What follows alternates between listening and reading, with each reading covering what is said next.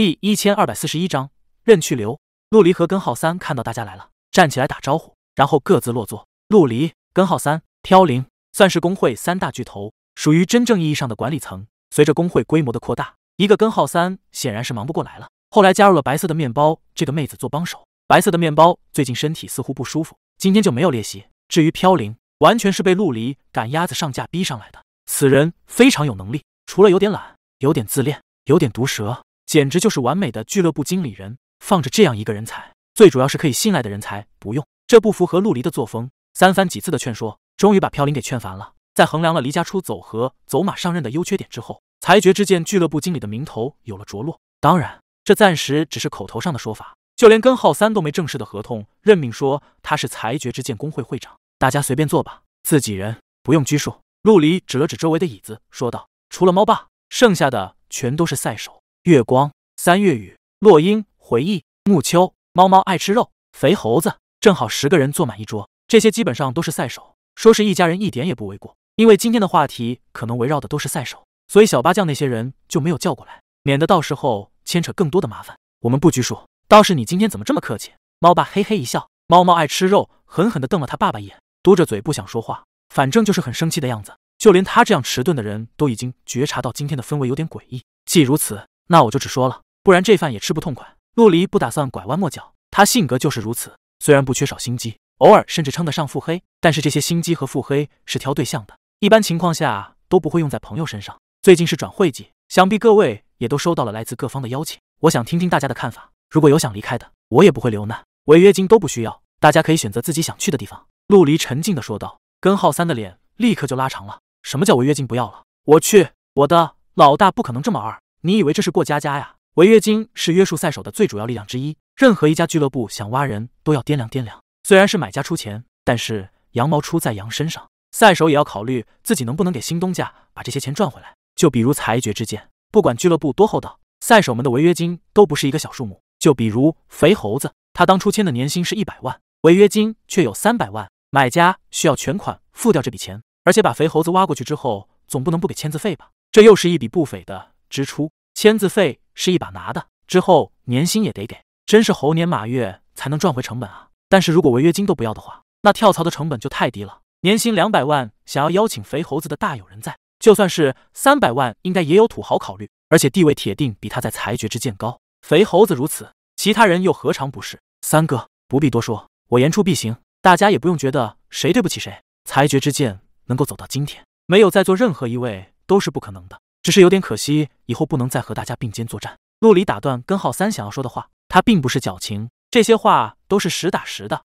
任何人走他都不会留难，反正我不可能走。爸，你要是想走的，你走吧。猫猫爱吃肉，哼了一声，扭头不搭理他爸了。唉，你这孩子，我什么时候说走了？还不都是为了你好？猫爸气得吐血，好不容易养大的女儿，说翻脸就翻脸。到底谁才是他爸呀？猫爸也是想借势给他争取点好处，最起码要确保每一场比赛的出场率，而薪水也可以利用转会季翻个两三番。正常情况下，大家都是这么干的。就算俱乐部太不爽，也只能认了。毕竟转会季即将到来，俱乐部必须抓紧自己的赛手才行。一点都不加的话，赛手就跑光了。到那时候，就算俱乐部不会一下垮掉，至少也要一蹶不振好几年。不需要，我要靠自己能实力成为曙光第一术士。猫猫爱吃肉。觉得和这老头实在没办法沟通了，他爸爸整个人都掉钱眼了去了，带着他去见猎头，然后打算凭着这个去找陆离要福利。猫猫爱吃肉，忍无可忍，现在终于爆发了。砰！原来是肥猴子拍了桌子。猫猫，你这话说的非常好，咱就要做职业第一。什么萧默、莫望风，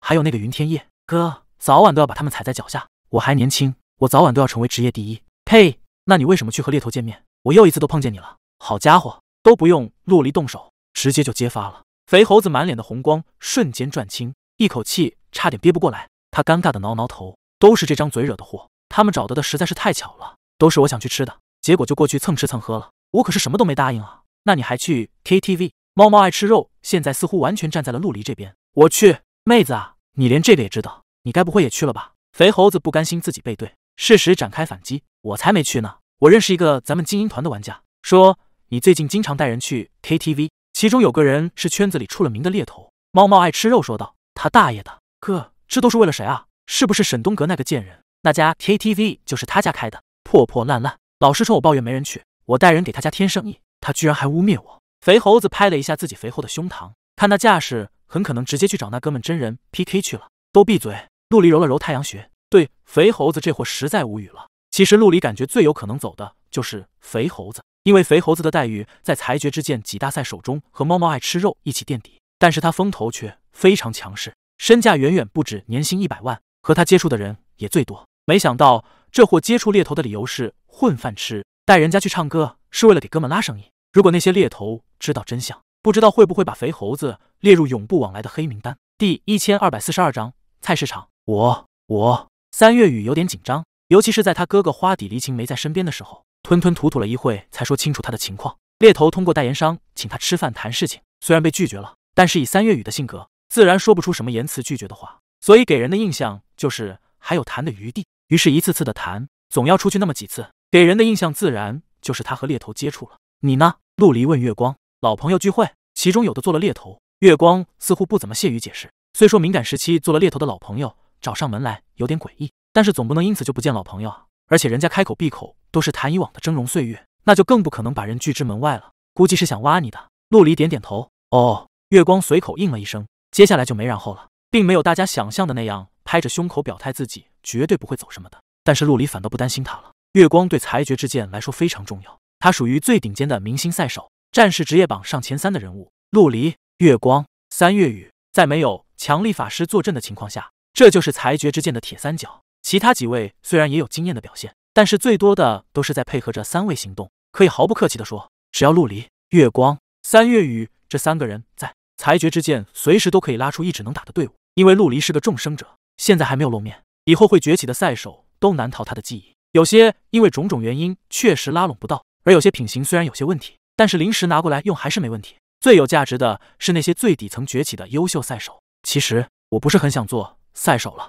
洛英回忆费了很大劲才说出口：“你不是很努力的想要成为一名明星赛手吗？”这次就不只是赛手们震惊，就连猫爸都坐不住了。而且他的质疑声中显然难以掩饰愤怒。这妮子最近一直跟着他训练，虽说不算天赋型选手。但是猫爸最满意的是洛英回忆的毅力，从来不玩练级最快的法师职业，但是在之前的几个玩过的游戏里都能压过一众大神，成为等级榜第一。洛英回忆确实是个毅力惊人的妹子，我发现自己好像不是很喜欢这个。洛英回忆情绪低落，我站在获胜的赛场上，却感觉不到胜利的喜悦。每天都要拉出等级榜看几十次，可是无论我怎么努力，却再也回不到等级榜前面去了。需要参与副本攻略，需要比赛，需要接受猫爸的各种比赛训练。洛英回忆所能支配的练级时间，当然不足以让他攀上等级榜第一的位置。他现在五十七级，等级榜四十多名，距离第一差的太远了啊！尽量多给你安排一些练级的时间。陆离瀑布汗，对于一个只想上等级榜第一的妹子，他只能如此安慰。这是正常人的脑回路吗？有的妹子喜欢把自己打扮的美美的，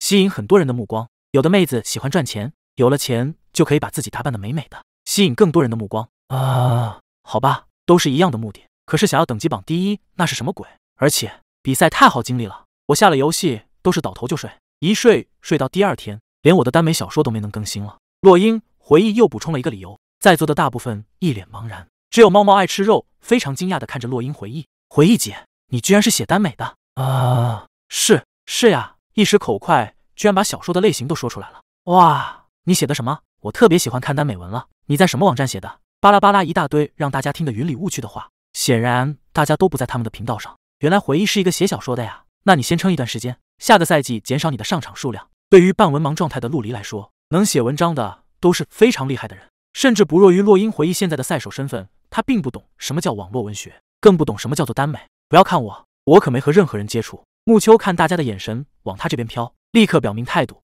他算是半路加入，而且不像猫猫爱吃肉和肥猴子，都是陆离一手发掘出来的新人，所以他平日里做事谨小慎微。几乎很少和外界接触，工会里有活动，他也积极参加，任劳任怨，风评相当的不错。原来都是误会。根号三长长的舒了口气，一场大危机就如此轻易的度过了。挖角这种事对其他俱乐部或许没那么致命，但是裁决之剑才成立没几个月，如果被挖走两个人的话，甚至都组不成完整的战队。只要撑过这一个转会季，以后多培养几个赛手，慢慢的就站住脚了。到底吃不吃啊？我闻着这味道，大师傅一定都准备的差不多了。肥猴子撸起袖子叫道：“今天老大请客，而且请的还是大厨手艺，大家都别客气，不醉不归，不醉不归啊！减肥，猫猫爱吃肉，打击它，吃饱了才有力气减肥。现在让肥猴子看着别人吃，简直比杀了他还夸张。陆离招呼人上菜，一场有惊无险的风波之后，他也饿了，正好可以尝尝知名大厨的手艺。金雀楼的老板是裁决之剑的一名生活职业玩家，把自家大厨免费借给工会用了。当然，陆离没忘记自己的妹妹，几个大厨专门做了一些。陆离让人送给陆星、残梦、小八将几个小丫头去享用。残梦、小八将都已经转学到江南市这边了，陆离还特意给他两个请了家教。他可是在两个丫头的家长面前拍了胸口，保证督促两个高中小女生努力学习的。这顿饭吃得很愉快。裁决之剑这批赛手性格各不相同，但是大家相处的却非常愉快。吃完之后，肥猴子提议去唱 K，其他几个自然要给他面子，但是陆离没去，他根本就不会唱歌，天生五音不全，连亲妹妹都会笑话他的那种，所以他干脆留下猫爸几个人一边喝酒一边谈事情。猫哥真是不厚道啊，咱们自家人还玩心结，这下倒好了，连猫猫都生你的气。根号三给猫爸斟满了酒杯。现实中和游戏中饮酒当然不可能一样，所以即便斟满酒杯，其实也没多少。猫爸端起来一饮而尽，叹道：“我还不是为了他好，理解理解。”根号三也没打定主意要为难对方，也就是小小的抱怨了一句。毕竟猫爸只是这一时的尴尬，他和陆离可是差点愁白了头发。这顿饭之前差点以为工会赛手都打算离家出走了呢。赛手这个职业终究难长久，你们看三十岁还在打的都混成了什么样，而三十五岁。还要靠打比赛的人，全都成了笑话。猫爸夺过酒瓶，自己倒了一杯，一仰头又干了。他说的倒也不夸张，三十岁的赛手并不算少，但是这些人带给观众的几乎都是一次比一次严重的失望。莫望峰被称作老将，但是他实际年龄并不大，现在也不过二十来岁而已。而三十五岁真正的老将，上场的机会就不多了。他们的归宿一般都是陪练，当年风光无两，现在伺候一群后辈练习，心中酸涩可想而知。也不是都混得比较差，你现在就不错。飘零懒洋洋的和猫爸碰了一杯，我这也算好，四处讨饭吃罢了。如果不是当年治了一些产业，估计也是坐吃山空的命。我不希望自己的女儿将来走这样的路。猫爸酒量一般，此时已经有了一些醉意。除了裁决之剑，你又能带着他去哪儿呢？飘零一阵见血的指出。唉，是的，无处可去。猫爸也是认命了。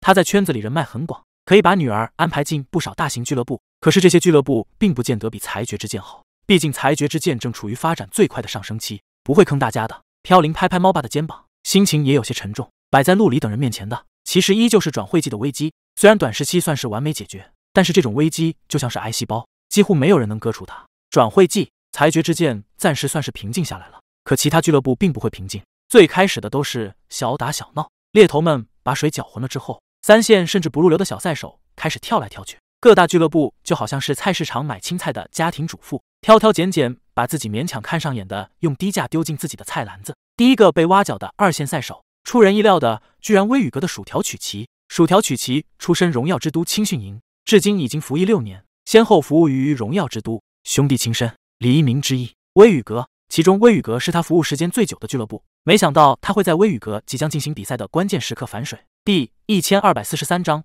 霸气无双。这种变故让微雨阁极为被动。目前的赛事都是实行的登记制度，在比赛报名阶段，俱乐部将参赛选手的名单报上去，这个一般都会多报，多到俱乐部有多少就报多少，反正报名人数又不限制。比赛的过程中，俱乐部只能从这些已经报上去的人里面安排赛手上场。如果中途幸运的拉到了一个大神级的家伙加盟，也要等到下一个赛季才会发挥作用，因为这位大神没有在该俱乐部的名下等级参赛，所以没有为该俱乐部效命的资格。这也就意味着微雨阁无法从无双城抽调人手过来帮忙。至于继续让薯条曲奇上场比赛，微雨阁无论再怎么心宽都不可能这样做了。薯条曲奇也表示自己会尽最大的努力完成比赛，可是他的离去已经将他在微雨阁俱乐部的信誉全部击碎。至少本赛季他是没有任何可能出战了。搞清楚是什么战队挖他了吗？陆离在一堆文件里头抬起头，这是裁决之剑赛手们一起吃饭的第二天，一大早上就得知了如此劲爆的消息。陆离还没来得及打电话去那边问情况，估计水精灵也没空接听。目前得到的消息全部来自于游戏早间直播站，这是一个即时性的娱乐平台，消息很快，但是不保证真假，不是很清楚。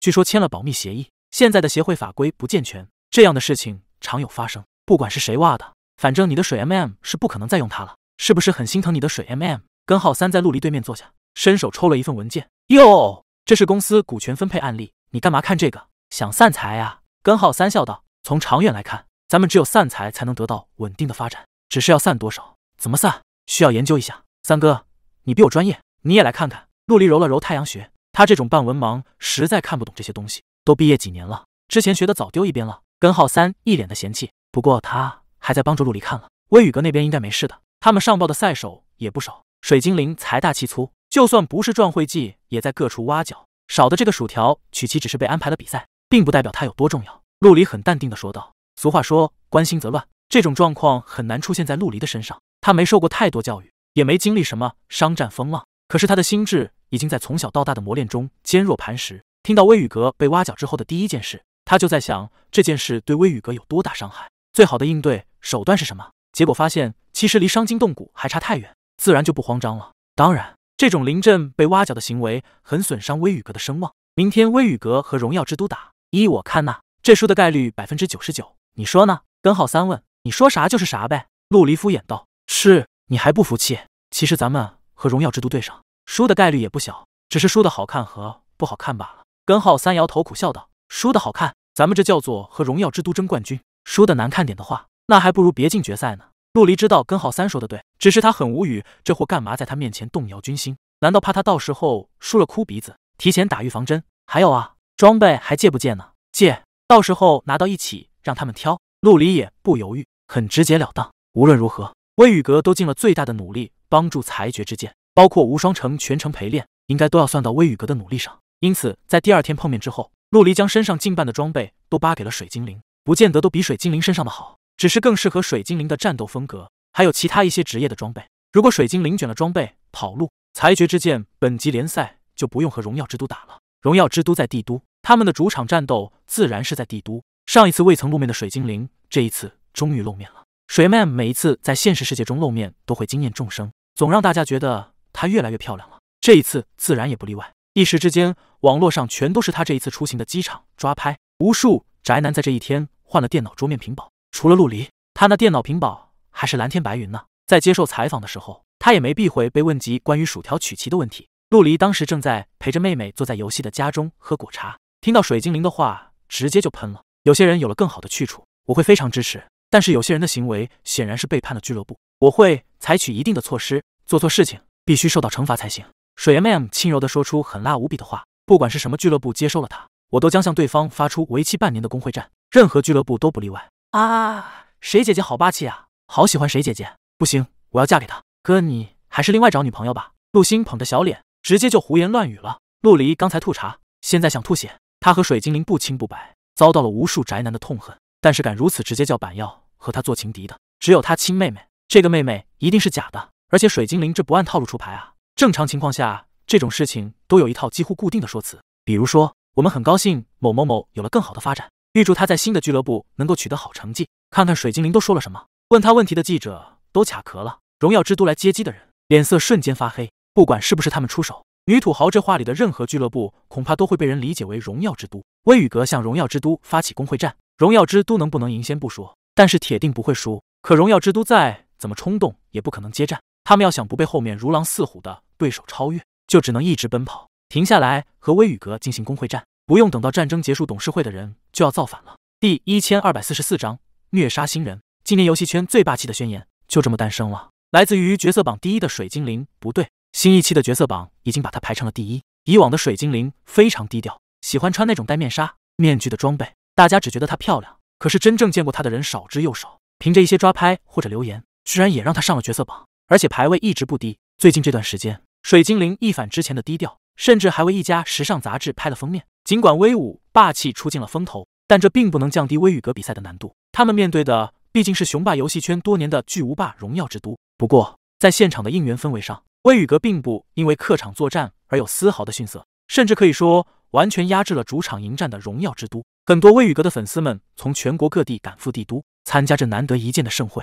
其实，能够正面对战荣耀之都，威宇阁在本赛季已经不亏了。当天最引人瞩目的还是一场粉丝冲突。起因还是临阵叛逃的薯条曲奇，据说有荣耀之都的粉丝幸灾乐祸，威宇阁的粉丝当然不可能忍。再加上业内一直盛传这次的挖角是荣耀之都做的手脚，所以当时爆发了小范围的肢体冲突。随后参与的人数越来越多，幸好地点在帝都，警备力量比其他机场都要强，所以事态及时的被控制住。根据媒体的追踪报道，被送进医院的粉丝有七名轻伤，一名伤势略重，就是那个幸灾乐祸的家伙，所幸没有生命危险。其实。陆离是不相信荣耀之都做手脚的，他们根本就不惧威宇阁，何必多此一举的去挖一个二线赛手，而且还遮遮掩掩的，连个下家都不敢让说出来。或许连荣耀之都都是受害者，幕后设局的人为的，就是让微雨阁和荣耀之都两家都不痛快。现在看来效果还真不错，两家的粉丝都开始对了。由于发生了这样的事情，比赛现场当然也不可能有多和谐。这次的比赛安排在国家体育场，也就是俗称的鸟巢，是一座始建于两百多年前的古老场馆，多年来一直担当着大型比赛、演唱会的举办场所。但是用来进行游戏比赛，这还是第一次。有些东西以前不被人看重，但是随着经济形势的变化，早晚都有出头的一天。上一次微雨阁和荣耀之都的比赛擂台赛是一分之差落败，其实已经非常不错了。只是不知道这一次会是什么结果。由于赛制的关系，王牌选手摆最后压箱底的做法纯属作死。可是将王牌选手直接摆放到第一顺位出战，看起来也有些过分激进，战斗节奏不容易把握，而且似乎也没那个必要。职业赛场上一挑三都是极少见的，擂台赛里较常见的出色发挥，也就是一人击败两个左右对手。陆离在很早之前干过一挑三甚至更多的事情。但那时候他面对的都是一般的玩家，水平和他差距很大。现在是四强赛，只要是能够上场的都有两把刷子，不存在让人一下挑光的事情。所谓两个左右，一种情况就是有时候击败一人后，将第二个也打到半死，但自己先一步支撑不住倒下；另一种情况是第二人也给击败，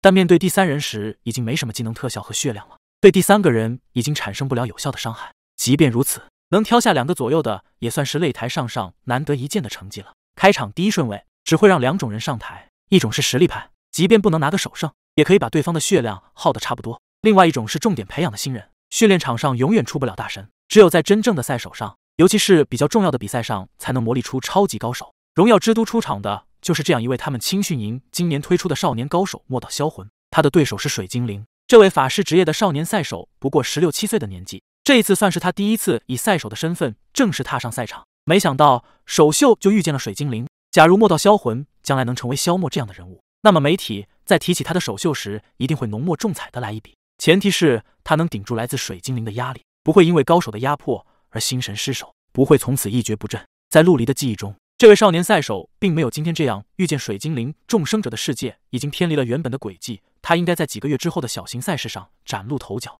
幸运的击败了紫月洞天赛手卑鄙的少爷，从此奠定了赛手圈地位。当然，他算是一个半成品。大众眼中的他成功出道，快速有了自己的粉丝和地位，能够逐渐参加大型赛事，完全人生赢家的节奏。可是谁又能知道他是萧默培养的接班人呢？萧默已经快要三十了，他花了几年时间亲自训练出了莫道销魂。然而莫道销魂踏上赛场之后，并没有达到他的预期，只能算是一个不错的赛手罢了。一个法师，一个盗贼，一个新人，一个圈内闻名的明星赛手。其实水精灵在这半年进步非常大，只是他原本的名气就高的离谱。而且主要是靠脸吃饭的美女，自然很少有人关注她实力增加多少。看着擂台赛的直播，陆离回想了一下当初刚碰见水精灵时候的情景。那时候他卖装备，水精灵土豪的砸钱，然后要求陆离和他打一场，结果自然是陆离赢了。如今再看看水精灵的操作，和当初完全不是一个层面。女土豪已经脱离了砸钱穿好装备，用装备来碾压别人的阶段。莫道销魂在水精灵手下被虐得非常惨，他倒下的时候，水精灵甚至还有百分之八十的血量。更离谱的是，水精灵根本就没用什么厉害的手段，简直就像虐杀一个刚进游戏的小菜鸟一样。陆离摇头轻笑，这女人的报复心可真重。不管是谁挖了她的人，她反正是把气撒在荣耀之都身上了，不然不会花费如此大的功夫虐菜。一般人可能觉得水精灵不费吹灰之力就把莫道销魂给虐杀了，但是差多的赛手都可以体会到，要这样虐杀一个准赛手需要投入多大的心神。也就是说，实际上水精灵除了没用厉害手段，从技术层面上已经全力以赴了。正常情况下。一个老赛手遇见新嫩都不会太过分，毕竟谁家每年都会有几个新嫩上台，都希望遇见的老赛手不要太狠心。毕竟第一场比赛对新人来说非常的重要，打击太大的话，虽然不至于从此一蹶不振，真要一蹶不振，那只能说明赛手不合格，但是萎靡一段时间倒是很有可能的。水精灵的下一个对手萧默上台了，依旧是那副无喜无怒的表情，大家也看不出萧默是不是生气了，但是从他的行动上来看，确实带了三分火气，除了压箱底的手段，也算是。全力以赴了，陆离甚至还敏锐地发现了一些他之前没用过的战斗技巧。生气才正常嘛，自己的徒弟被不给面子的狂虐了，当师傅的自然要找回场子。陆离并没有因为萧默打的水精灵找不到北而愤怒，而是眯着眼仔细地观察萧默目前的战斗方式，顺便从水精灵的受伤效果上分析萧默所用的这些手段。水精灵的装备本身就很好，又从陆离这里拿到了不少极品部件，就连套装都给他了。所以，即便萧默技术比水精灵高一筹，装备。可能还要更好一些，但是想要像水精灵虐没到销魂那样虐水精灵，那是想也知道不可能的事情。萧默最后获胜，水精灵落败。然后微雨阁是倾城允出战，他对掉了萧默。萧默毕竟刚刚击败一个近乎完整状态的水精灵，他不可能独自击杀微雨阁的两个明星赛手。这就好似陆离连续击杀血比和萧默一样荒谬。血比上去对掉了倾城雨，然后被微雨阁再次上台的赛手对掉，最终的结果居然是微雨阁领先了一分。镜头给了莫道销魂一个特写，这位荣耀之都的新人几乎已经快要哭出来了。在他看来，就是因为他的缘故，才让自家俱乐部输掉了本来十拿九稳的擂台赛。观众和解说很激动地猜测着。是否微雨阁真的有可能击败荣耀之都，然后和裁决之剑争夺本级联赛的冠军？听着周围的人激动的声音，陆离在观众席上摇了摇头。他比谁都了解微雨阁赛手身上的装备水平，以及他们有可能存在的手段。可以断定的说，微雨阁上台的几位赛手已经全力以赴了。然而，荣耀之都依旧让他看不透彻。这说明荣耀之都依旧在保存实力。只是上一场微雨阁主场的比赛，微雨阁领先了一分获胜。现在本场微雨阁又已经领先了一分，这也就意味着。荣耀之都必须在团体赛中至少领先两分，才有可能因为平局而追加新的一场比赛。只有领先三分，他们才能彻底击败微雨阁。第一千二百四十五章痛苦压制，领先三分，陆离感觉到了巨大的压力。如果换作是裁决之剑和微雨阁对决，他能保证领先三分吗？不只是他，凡是想到这一点的都觉得震撼。如果荣耀之都能够操控三个比分的差距，那他们也太可怕了。也有人认为这是荣耀之都虚张声势，这一切说不定都是正常发生的事情呢。之前的那一场输掉一分是因为客场比赛地图不熟，今天的擂台赛输掉一分是因为派了一个不靠谱的新人首发。无论如何，团体赛还是如约而至。唉，你说万一微雨阁赢了，咱们可怎么办？根号三坐在陆离的旁边，一脸的愁容。还能怎么办？跟他们打呗。陆离慢吞吞的说道。万一把微雨阁打哭了，你的水 MM 一定和你翻脸。看来你这辈子是讨不到老婆了。根号三摇头晃脑的说道。如果微雨阁连荣耀制度都干掉了，三哥，你哪里来的自信能战胜他们？陆离很无语的问道。这货是不是脑子进水了，还是觉得裁决之剑已经天下无敌了啊？根号三顿时就懵逼了。再次出人意料的是，荣耀之都放弃了主场优势，选了一张大圆台地图。就连陆离都忍不住暗骂了一句：他实在搞不清楚，荣耀之都是想作死，还是有着无与伦比的强大自信，又或者说是女土豪小手一挥砸了几个亿，让萧默都跪下唱征服，开始放水输掉比赛。明明有主场优势，却不去利用，这不是蛋疼吗？而且荣耀之都又不像之前的裁决之剑，陆离那是找不到合适的陪练，才无可奈何的选择大圆台地图。九张地图，一张大圆台，剩下的各有特色，不管是什么阵容的战队，都能找到适合自己的。微雨阁这边是贼术法木战阵容上场，候补席上是一名圣骑士治疗；荣耀之都则是贼法木萨术阵容上场，候补席上同样是圣骑士，也是偏向于治疗的路线。因为是大圆台赛场，比赛双方一览无余，所以也没有什么利用地形的说法。比赛宣布开始之后，就冲向了对方目标，反正就是选定，然后放技能就行了。微雨阁治疗心心喃喃成了被集火的对象，双方全都是单治疗出场，只要秒掉了对方的治疗，就算胜了一半。因此，微雨阁也不客气。西山白首先受到了来自于微雨阁几个输出职业攻击，不假职业很难撑，全靠减伤类的东西。依我看，双方似乎是打算着对此换治疗了。根号三在陆离旁边，比陆离还要紧张，这不合理啊！陆离皱着眉头思索着，换治疗的话。荣耀之都绝对不可能在团体赛中领先三分，他们一定有什么东西是大家不知道的，能够避免换治疗。也就是说，星星囡囡会挂掉，但是西山白不会，是减伤吗？什么减伤可以顶得住四个输出职业的猛攻，而且还必须持续很长的时间才行？陆离一点点的分析，真相很快就摆在了他的面前。不应该说，真相已经如他所分析的那样发生了。即将快要残血的西山白身上泛起了浓密的白光，让他整个人都模糊起来。痛苦压制，陆离当然知道。牧师的这个神技，但是现在都还没到六十级呢，为什么会出现这种逆天的东西？痛苦压制瞬发，使用后受到的所有伤害降低百分之五十，持续五秒，昏迷时仍可释放，冷却时间三分钟。如果没记错的话，这就是一级痛苦压制的效果。如果点到五级的话，减伤可以增加到百分之八十。虽然不是无敌，但是也差不太多了。最逆天的是持续五秒时间，这是盗贼疾风步比不上的。威雨阁的人直接懵逼了，谁也无法相信自己的伤害突然会变得这么低。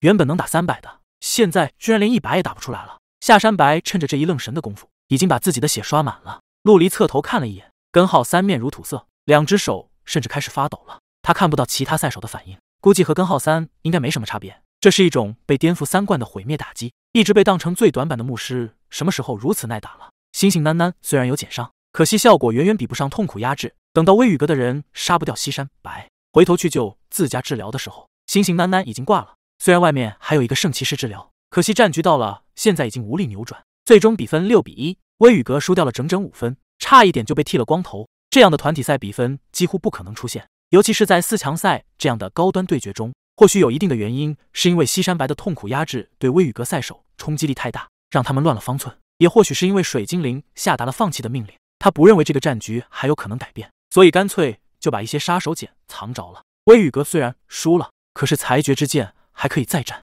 荣耀之都进入决赛，这场比赛所有的光芒都笼罩在西山白的身上，还有他那个让牧师成功保命的惊人手段。离开了赛场，裁决之剑立刻开会。裁决之剑虽然还没有正式晋级决赛。但是他们的比分超过狂风军团太多，狂风军团没有任何翻盘的可能，所以在荣耀之都晋级后，本级联赛的冠军便只有可能在这两个俱乐部中间诞生了。陆离走进会议室的时候，现场一片惨淡，就连见多识广又生性乐观的猫爸都苦着脸。肥猴子也不闹腾了，他捧着自己那只乱糟糟的黄色头颅，坐在角落里扮演沉思者。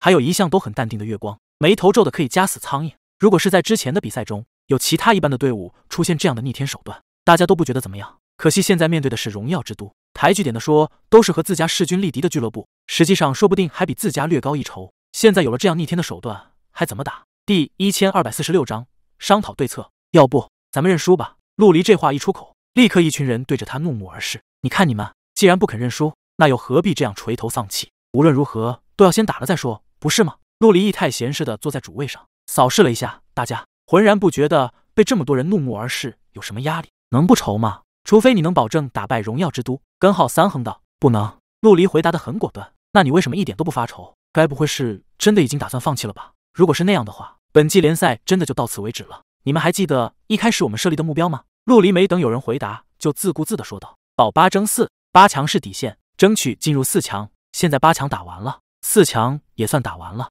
都进入决赛了。你们还有什么不满足的？也不能这样说啊，谁不想得冠军呢？”猫爸摇摇头。没办法苟同陆离的观点，就是之前的华影杯冠军毕竟是非官方的赛事，咱们如果能够拿到一个官方赛事的冠军，就再也没有人能够动摇咱们的根本。根号三越想越激动，最后以捶桌子作为结尾。那我们就来想想办法吧。陆离说：“那可是无敌啊，牧师的无敌，能有什么办法可想？”肥猴子颓废的说道：“他本来以为三月雨就够变态的了，毕竟可以驱散无敌，没想到今天会有一个牧师告诉他，没有最变态，只有更变态，人家直接上无敌了。等等，可不可以驱散掉啊？”肥猴子突然想起来，这个技能叫痛苦压制，属于牧师很稀有的一个技能。爆率应该不会搞，但是只要有钱，只要有爆率，将来有一天至少会在赛手当中普及。然后这是我找到的关于痛苦压制的资料。陆离打开会议室的虚拟屏幕，五秒，百分之五十可以在被控制的时候使用，百分之六十五的概率防止被驱散。也就是说，这是可以被驱散的，对吧？肥猴子眼睛一亮，虽然只剩下百分之三十五，但是有希望总比没希望要好得多吧。前提是被驱散的对象身上只有一个痛苦压制状态。陆离补充道：“五秒似乎不太对吧？我觉得西山白身上的这个应该没五秒，最多。”月光出声说道：“三秒。所以这个痛苦压制不是技能，而是阉割版的装备特效。”陆离替他说了出来：“所谓的职业素养，其中有一种境界就是算秒，有的人能精确算到每一秒，更有一些变态甚至算到小数点后一位。外行看热闹，内行看门道。陆离和月光这个层次的人。”他们在看战斗的过程，不仅看效果，还会默默的计算效果持续的时间。大家只觉得西山白的这个减伤太牛了，却没有人意识到它具体的持续时间。目前大部分的减伤都是减轻固定总额的伤害，好一点的，比如一千、两千；差一点的，甚至有两三百的，或者有的是减少某一次攻击的伤害，这种更差。陆离的至尊戒指是完全免疫一个技能的伤害，真正好的减伤大部分都在 MT 盾牌上。然而，谁也不可能为了那个减伤去扛着一个大盾牌去打比赛。然后就是有些职业的强力无敌了。最变态的是圣骑士，持续时间最长，但是它的副作用就是无敌的时候各种属性大幅度下降，体现出来就是四肢乏力、移动速度下降，还有会丧失一般的攻击力。然后是法师的冰箱，这个更彻底，为了无敌完全把自己冰冻起来了。真正算起来的话，只有盗贼的疾风步才是真正没副作用的无敌。可惜只有一秒。很多时候连逃命的时间都不够。陆离被集火秒杀两次，就是因为疾风步的时间太短。牧师的这个特效或者技能属于状态类效果，首先是可以被驱散的。当时微雨阁的星星囡囡被集火，其他有驱散技能的人也没反应过来，所以让西山白出尽了风头。我们如果和荣耀之都开战，首先就要驱散掉西山白身上的其他状态，等他开这个特效的时候，就给他驱散掉，或者在关键的时候，三月用大驱，大驱可以一次性驱散多个效果。陆离总结说道。其实曙光里能够驱散对方身上状态的手段很多，比如牧师的驱散、猎人的驱散射击、术士的狗也能吃掉一部分状态、法师的法术偷取、萨满的净化。当然，防御战士的盾击也有可能砸掉对方身上的状态。只是在赛场上根本就没防御战士。无论如何，这玩意终究是个麻烦。根号三很苦恼，对策是要花费时间和精力去做的。大家都去想着对付西山白身上的痛苦压制，无形中其实已经丧失了很多其他的机会。此外，还有很重要的一点，非常重要。陆离看大家的情绪实在太低落，小小的开了个挂。大家有没有想过，资料上只显示了痛苦压制可以在被控制的时候使用，可并没有任何一点表明使用之后可以免疫控制啊。也就是说，西山白使用了痛苦压制之后可以免疫大部分伤害，但是他仍然可以被控制。如果是这样的话，那么我们就可以继续控制他，让他不能给自己加血。三月雨眼睛一亮，他作为一个主要负责进攻驱散的职业，此时压力山大。直到听说可以控制西山白，让他加不了血。顿时松了一口气。其实我们必须感谢微雨哥，如果不是他们，说不定咱们碰到这种情况也要懵逼。陆离感慨道：“怎么感谢呢？”根号三笑着问：“虽然压力依旧很大，可是他作为高层，必须要让大家放松下来才行。”嘿嘿，无以为报，只好以身相许。不如咱们把老大打包送过去算了。我想水姑娘一定会非常满意这样的礼物。肥猴子笑嘻嘻的说道：“大师兄，你真是越来越嘚瑟了。你不是还想着挑战萧默吗？”猫哥，没事的话多操练他一下。陆离冷笑道：“不要啊，猫叔叔饶命啊！”肥猴子腿软了，他喜欢在实战中增强自己，而不是枯燥乏味的训练。第一千二百四十七章蜀都。原本以为要等到决赛的时候才有可能遇见西山白的痛苦压制，没想到在蜀都就遇见了。狂风军团扎根蜀都已经有了不少的年头，据说有一些蜀都出身的荣耀之都赛手思乡情切，功成名就的他们凑了一笔钱，连带着萧默投资的一部分重金将狂风军团买了下来。短短几年的快速发展。这个工会已经成了蜀都最强大的工会，可以代表蜀都游戏圈说话。关于狂风军团和荣耀之都的关系，说法很多，就连一些身在这两间工会的人都说不太清楚。可以确定一点就是，荣耀之都并没有狂风军团的所有权。萧默或许只是狂风军团的一个大股东，现在他们是从属关系，或者说盟友关系。可是，一旦萧默不在了，这种关系很可能就没有现在如此的和谐亲密了。在四月一日愚人节这一天，裁决之剑一行人奔赴蜀都。进行和狂风军团的第二场比赛，这一次是十拿九稳能够获胜的比赛，所以大家与其说是比赛，其实更像是去蜀都旅游。陆离甚至带上了陆星一起随行。这丫头最近闷在家里，吵着要跟着陆离一起出去打比赛很久了。这是一个承载着三千余年历史的古城，拥有都江堰、武侯祠、杜甫草堂、金沙遗址、明蜀王陵、望江楼、青阳宫等众多名胜古迹和人文景观。两百年前的那场大战并未殃及这座城市。所以很多地方都还保留着最原始的风貌。一番周折之后，大家拥有了自由的时间。谢绝狂风军团派出的向导，似乎狂风军团从上到下都看陆离不顺眼，这位向导也不例外。所以陆离干脆眼不见为净，反正他们一伙那么多人，轻易也不会被人欺负了。陆星很少出远门，尤其是这样风土人情和江南完全不一样的城市。这座城市有着让人爱的一切元素：美食、美景、美女，特别是城市里的每个角落，都将其悠闲、乐观、宁静。繁华又洒脱的独有特质渲染的淋漓尽致，让陆离他们意外的是，这座城市居然有不少他们的粉丝。赛手就是公众人物，几乎不存在藏头露尾的赛手，所以当初陆离才敢用自己的真名做游戏名。所以他们简易的装扮并没有骗得过所有人。毕竟大家都知道，今天是裁决之剑俱乐部来蜀都比赛的日子。俱乐部扎根于一个城市，慢慢的会受城市的文化影响，并且被城市同化。到后来，城市和俱乐部已经分不清彼此。就比如荣耀之都俱乐部。有些人会直接叫他帝都俱乐部，一说帝都俱乐部就知道说的是荣耀之都。然而蜀都的狂风军团显然远远没有达到这种水平。陆离从这些路人甲的神态中可以看出，他们对狂风军团并没有太多的认同感。或许这就是所谓的底蕴，有根有土有文化，这确实是一个很美好的城市。也许等到要离开的时候，才会发现蜀都旅游宣传语一座来了就不想离开的城市，这并不夸张。下午的时候开始比赛，双方都知道此战不再关乎胜负。却没有任何一方消极懈怠，全力以赴。这不仅仅是对自己负责，也是对对手的尊重。无论如何，裁决之剑在蜀都受到的接待都没有任何可以挑剔的地方。擂台赛，裁决之剑首发肥猴子，这货真心需要多磨练一下。最近已经被正式聘请为总教练的猫爸揪着他进行特训，比赛的时候也会增加他的出场次数。这种首发的重头戏，自然也轮到他的身上。首发最能磨练人，所以经常被人用来锻炼重要新秀。可惜陆离站在等候席上。就看不到肥猴子有半点的紧张。他的对手是刘峰，攻击力特别牛掰的纯输出圣骑士。按理来说，法师打圣骑士自然是拉得越远越好了。肥猴子从来就不按理出牌，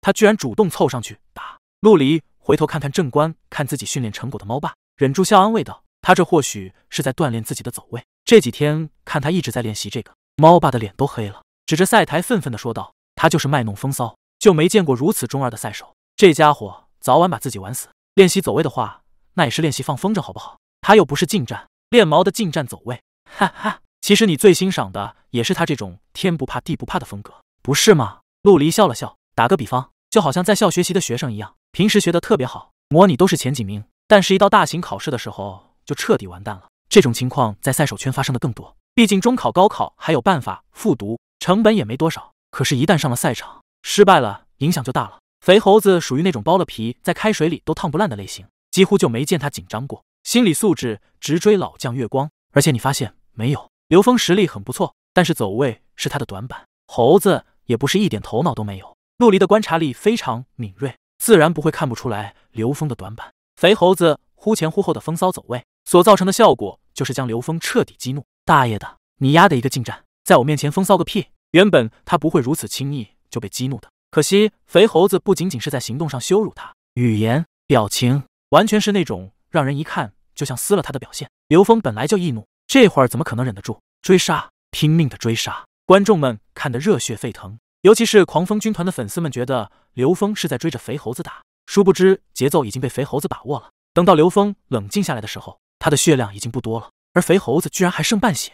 一个半新赛手就这样把一个资深赛手玩弄于股掌之上，他的真实实力甚至并不比刘峰好多少。狂风军团接替刘峰的是宁氏。这位和月光同时期出道的老将肥猴子再也不敢耍心机了。他一反之前狂放风骚的打法，变得非常沉稳，就好像是按照教科书一步步做题的学生。录制下来的话，都可以被拿去当成法师对绝狂战士的教学视频了。当然，属于半入门级的，而且是法师遇见强力战士的类型。宁氏几乎是压着肥猴子打了，而肥猴子也没自大到要和宁氏分出什么胜负。他正在努力做的是尽可能消耗对手的血量和各种手段。肥猴子下去了。月光当然不会放过这样一个和老对手交手的手段，两人你来我往打了一会过过瘾，宁氏就被送下去了，然后换了云天夜上来。云天夜的实力和月光他们即便有差距，也差距不大，自然不会栽在半血的月光手上。双方近乎是轮流着下台，最终的比赛结果是五比四。陆离站在台上的时候，自身的血量近乎满值。擂台赛方面，狂风军团输了整整一个人头。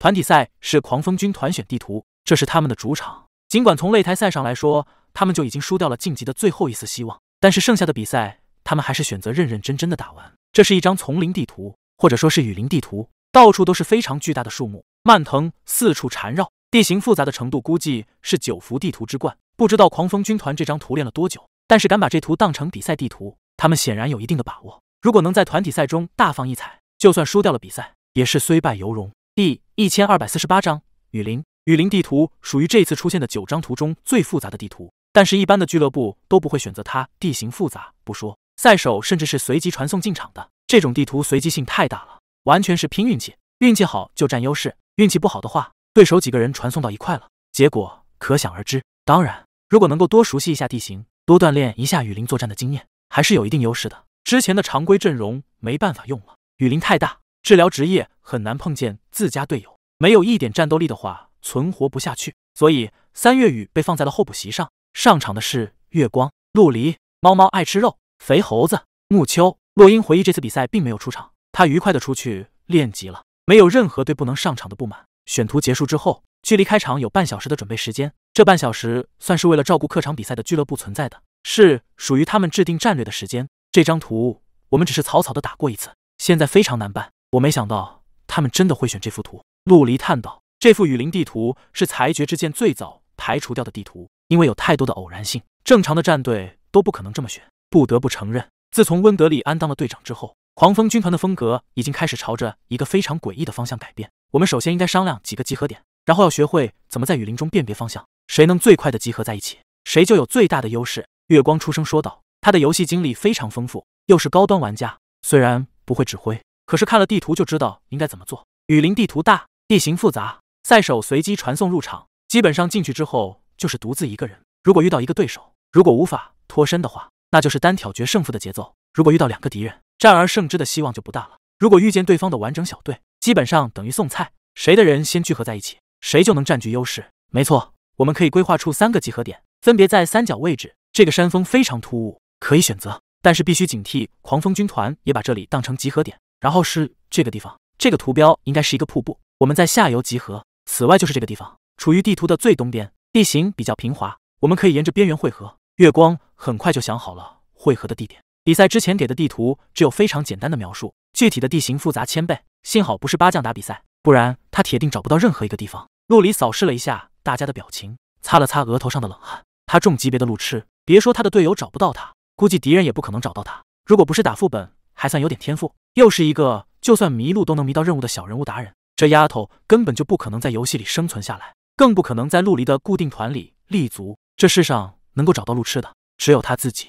最主要的是辨别方向，知道自己在什么地方，要去什么地方。我来告诉一下大家，怎么在雨林里辨别方向。太阳、星星这些东西，如果有还好说一点；如果没有的话，我们可以通过一棵树的枝叶分布来看。树木枝叶密集的那边是南方，稀疏的那边是北方。分清了南北，其他两个方向自然也就明了。此外，也可以，月光在这方面显然是行家，教了大家一些雨林分辨方向的办法，还有应该怎么行进才能隐藏自己，怎么观察周边的动静，怎么通过痕迹来判定怪物的分布。雨林里也有怪物。这些怪物都是精英，有输出的赛手可以勉强对付一只。如果在对付怪物的时候遭到敌对赛手的袭击，结果会非常的悲惨。匆匆的补习了一下雨林战斗的知识，大家在系统的催促中进入了比赛地图。陆离出现的地方是一处密林，他只觉得眼前突然一暗，随之而来的是滴答滴答的雨滴从头上落下来，雾气朦胧浮动，弥散在周围的每一个角落。这种天气的雨林能见度很低，头顶那无数日益繁茂的参天大树形成的遮天蔽日堡垒。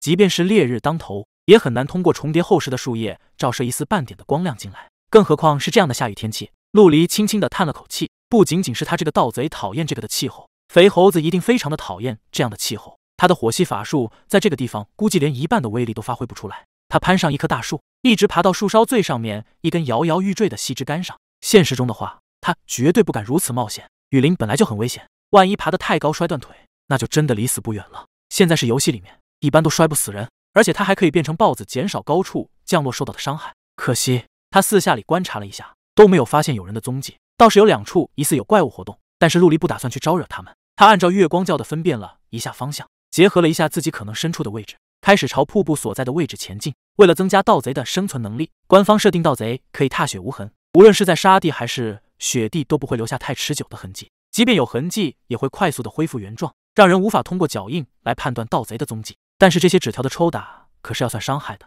还有脚下蛇虫的叮咬，都能让陆离从前行中被打出来。陆离干脆也不前行了，他利用环境来隐藏自己，小心翼翼的行动着。聊天频道一片静寂，显然是这张地图禁用任何远程聊天方式，大家只能朝着事先商量好的地方汇合，谁先汇合在一起，谁就能掌握比赛的主动权。他时常会爬到高高的树上去观察四周。小的时候，有一次一群大孩子追打他，他很利索的爬到了树上，爬得非常高。那些大孩子扔石子都打不到他，他至今还记得当时摘树上的果实去反击的爽快。陆离是个爬树高手，在游戏里更加完美的继承了这个能力，所以他很快就发现自己左前方的灌木丛中隐隐约约的有个人形物体在移动。第一千二百四十九章丛林遭遇战。所谓的灌木丛，其实就是一大片茂密的草丛，这些草丛足足一人多高，人要是在里面走的话，铁定难以隐藏行迹，而且会大幅度的降低移动速度。陆离一直避让着这样的地形。宁愿绕路也不在里面走。如今摆在面前的问题就是，这到底是自己人，还是狂风军团的人，或者仅仅只是一个单纯的怪物？陆离从树上一跃而下，落地的时候变成小豹子，就地一滚，几乎没有任何伤害冒出来。然后他就保持着小豹子的形态，跳跃着在丛林中穿越。他打算着要截在对方的前头埋伏。这片草丛很大，绕行是一段挺远的距离。好在草丛里的人走得更慢，让陆离得以成功的截到了对方的前面。他没有进入前行。而是单纯的躲在了一棵树的背后，只要达到欺瞒对方感知的效果，无论是技能前行还是物理前行，其实都没有什么分别。在这种雨林环境中，躲在树干背后更加保险。草丛中艰难跋涉的不是怪物，他一边拨开草丛，一边嘴里骂骂咧咧：“这选的什么鬼的图？队长了不起啊，真是瞎折腾，说不定比正常地图还要输的难看。这张地图是温德利安选的，为的就是出其不意。其实地图对裁决之剑来说很头疼。”狂风军团的人又何尝会喜欢如此恶劣的环境？他们在这张图训练了很多次，每一次都是被折腾的死去活来。虚拟现实游戏，心累，身体也累。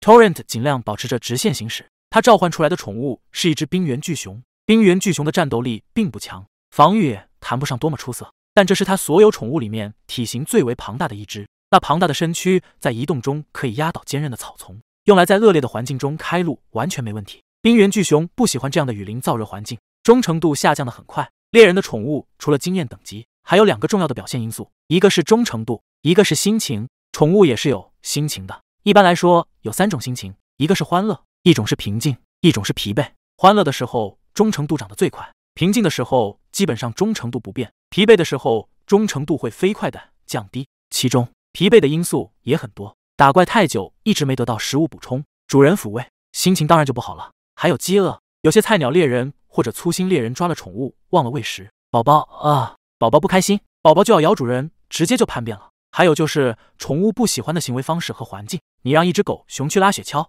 它铁定回头给你一口；让一只企鹅去下黑石塔副本，它说不定会跳进岩浆自杀。而忠诚度取决于一段时期内的宠物心情，一共有六个等级。一级被描述为反抗的，顾名思义，宝宝不会去打怪，它只会对你。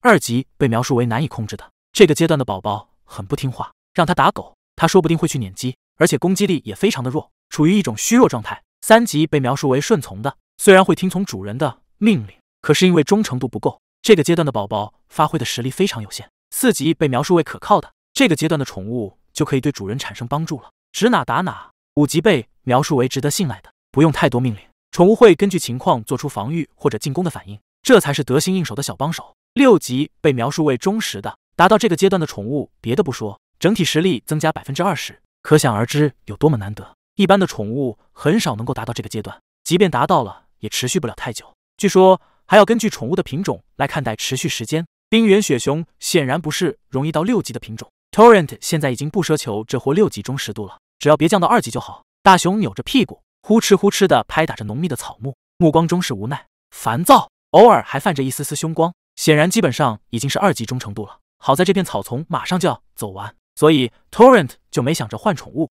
眼前猛地一空，讨厌的草汁终于看不到了。Torrent 差点一屁股坐到地上，丢了一块烹饪好的鱼肉给冰原雪熊，正要把它收回去，慢慢恢复忠诚度，Torrent 就听到了脑后风声，冰刃划过雨滴，发出轻微的呲呲声，直奔他的后脑勺而来。盗贼陆离，这种攻击方式无疑只有猥琐卑劣的盗贼才干得出来，而这张地图中活跃的盗贼，那自然就是裁决之剑的盗贼了。操！Torrent 尽管精神略显疲惫，但是他的反应也不快，身子略略一侧，伸腿就是一个摔绊技能过去。他对陆离的位置判断非常精准，显然平时在这方面下了很多功夫。这个技能是减速技能，是猎人对付盗贼战士的主要手段。陆离的匕首在 Torrent 脖颈上轻飘飘划过，这一记偷袭终究还是落空了。他不得不承认自己小看了对手，本以为这种出其不意的偷袭一定万无一失呢。雨林啊，这些讨厌的雨滴！Torrent 的摔绊降低了陆离的速度，但是他可不会认为就这样就可以拉开和陆离的距离。他连忙指挥冰原雪熊去拖住对方。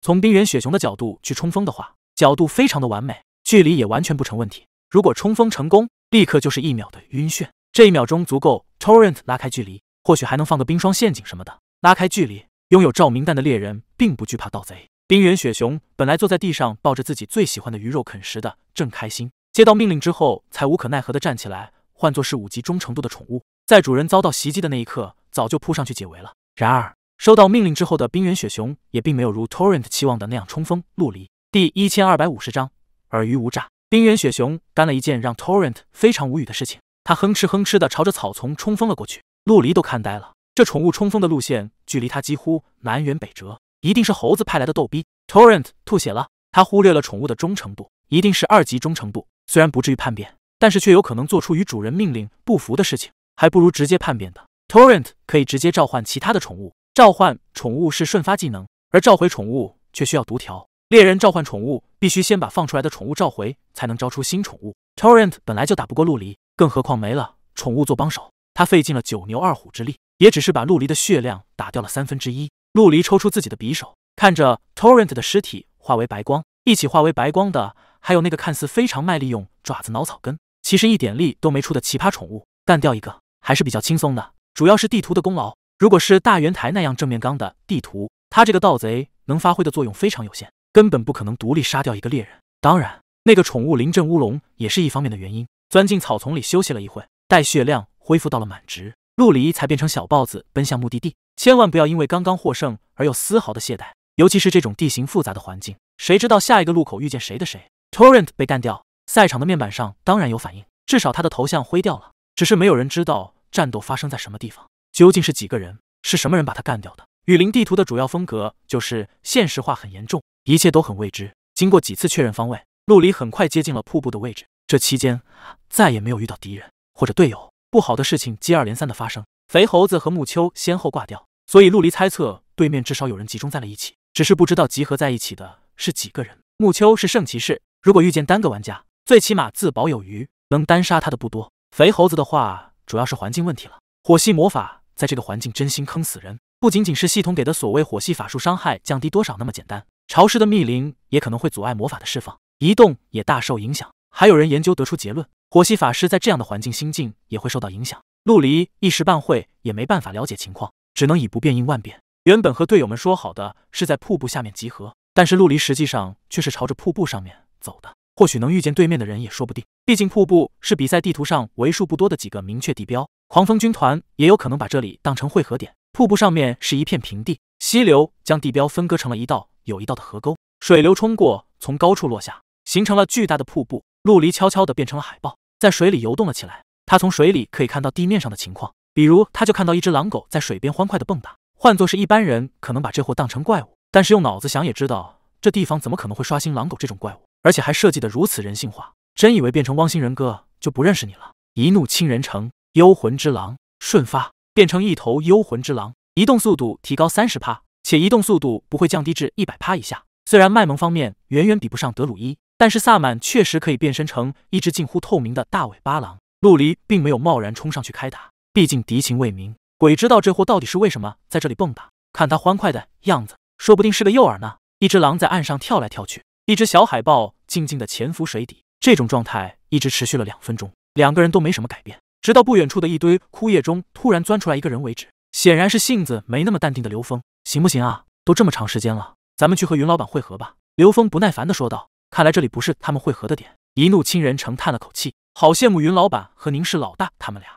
已经拿了两个人头了。咱们这样一无所获的过去，是不是有点丢人？丢你妹的人！你在那蹦蹦跳跳倒是自在，我埋在臭草堆里，差点憋死。我早说了，就算这里是集合点，他们应该也在瀑布下面集合，上面还要爬一段路，多麻烦啊！刘峰已经走了过来，并没有看到潜伏在水底的小海豹，下面也不可能了。我在上面已经观察很久了。一怒倾人城说道。那咱们就走吧，爸爸。刘峰不知道为什么突然结巴起来。我去，乖儿子，你终于肯认我了吗？一怒倾人城笑道。不过他也知道这里不是开玩笑的地方。顺着刘峰指着的方向，他也看到了站在瀑布下方不远处水溪中的狂战士。远远的看到那盔甲的颜色和样式，显然不是自家队友凝视，那自然就是裁决之剑的月光了。会不会是诱饵？他为什么不跑？刘峰也顾不上队友占自己的便宜，开始激动起来。好在他也没有彻底丧失理智。还知道征求一下自家队友的意见，应该不会是饵。如果真要是放饵的话，也不会放月光。你说咱们俩能打得过月光吗？一怒倾人城问。不管了，我先下去，你等下快点跟上，咱们一个输出一个治疗，耗也耗死他。刘峰一听说不是陷阱，立刻就从瀑布上面跳了下去。这种程度的高度跳下去，不死也丢半条命。可谁让刘峰的手段多呢？他的披风上就带了一个缓落特效，此时张开如同双翼，极端拉风的俯冲而下。他已经迫不及待的想要和月光这种级别的大神较量了。等到他干掉月光，再去和宁氏吹牛。你的生死大敌在我手底下，其实不堪一击。至于他的帮手一怒亲人亲，请自动忽略。不要啊呀！一怒亲人亲在看到一道人影从水里一跃而出的时候，就知道要糟了。可惜他的叫喊有点迟，被打断在陆离的攻击中。而已经跳出去的刘峰，再也不可能飞回来。